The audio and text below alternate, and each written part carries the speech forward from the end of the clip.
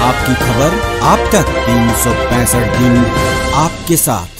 जिला में बाहर से आए 10 लोगों को लोहरदगा सदर अस्पताल में जाँच के बाद सोशल डिस्टेंसिंग का खुलेआम धज्जिया उड़ाते हुए एक ही एंबुलेंस में सभी 10 लोगों को भीड़ बकरों की तरह सिस्टम क्वारंटाइन भेजा जा रहा था।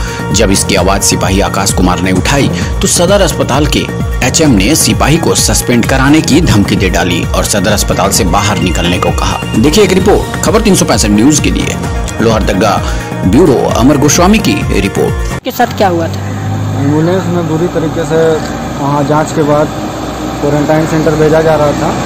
उसमें सोशल डिस्टेंसिंग का पूरा धज्जिया उड़ाई जा रही है इसी के लिए हम लोग अलग गाड़ी का मांग किए। सबको एक ही जगह से बैठा के ले जाया जा रहा था। हम लोग अलग गाड़ी का मांग किया उसी में एच मैडम ने आई और हमको कहने लगी कि एसपी सर को फ़ोन करके तुमको सस्पेंड कराते हैं। तो हम बोले गलत का आवाज़ उठाना हम लोग का फ़र्ज़ है आप गलत कीजिए या सही। तो इतना ही में उसका कहना था कि हम लोग का काम में आपको सपोर्ट करना है। तो हम बोले कि गलत का सपोर्ट नहीं कर सकते हैं।